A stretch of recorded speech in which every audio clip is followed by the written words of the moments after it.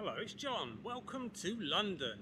Alright mates, so today we're looking at four London accents and whether you should H drop or not. So the London accents we're focusing on are Cockney, SSBE, Estuary English and MLE. So each accent will have a mini tutorial and I'm going to say the same target sentence in each tutorial so that you can hear how the H drop is used or not in each accent. But first, here's something for you. What am I saying here? Hurry up, Harry, we're going to Highbury. Hurry up, Harry, we're going to Highbury. Tough one, that. I'll tell you at the end of the video what I actually say. So I've got quite a neutral southeast of England accent, so I'll say it in my normal voice. So here's the example sentence now. Oh, hurry up, because I'm going to Hammersmith, Hounslow, Hampstead Heath, Harrow, then Highbury today, aren't I?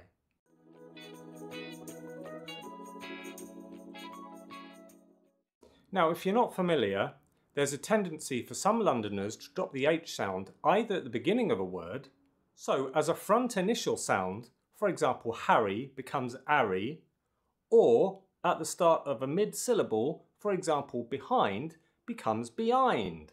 So first up we have the Cockney accent.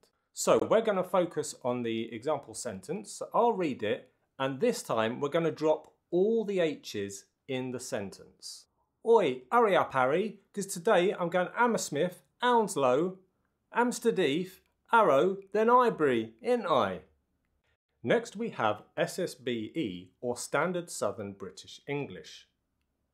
Now this is a sort of middle class accent if you like and you need to sort of ramp up the poshness a bit and most importantly you have to say all of the H's alright so here we go with the example sentence again for this accent.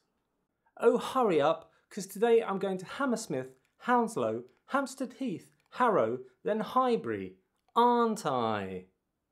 So next we have the estuary accent, which is a sort of combination of the sounds of Cockney and SSBE.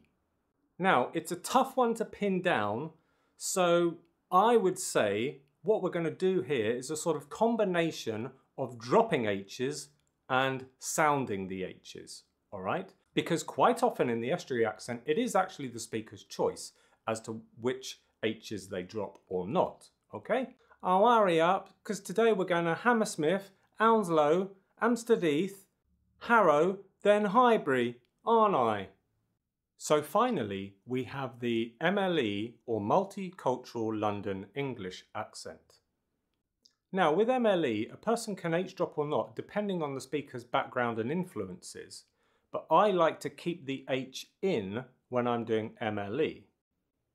Oi, hurry up, because today I'm going to Hammersmith, Hounslow, Hampstead Heath, Harrow, then Highbury, in it.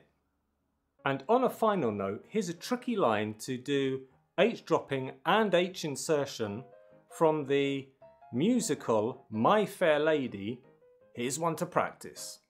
In Hertford, Hereford and Hampshire, hurricanes hardly ever happen. I think I said that correctly. Did you notice I inserted an H with hever from ever? Ever, hever, yeah, get it?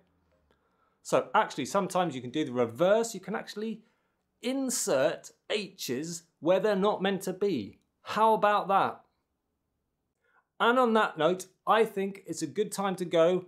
Thanks very much. I hope you like the tutorial. Remember, comment below if you tell me which accent resonates with you and do you H-drop, of course. I'd love to know.